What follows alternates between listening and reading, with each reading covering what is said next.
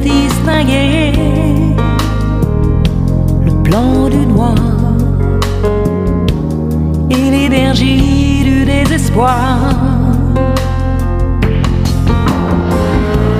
Le téléphone pourra sonner. Il n'y aura plus d'abonnés et plus d'idées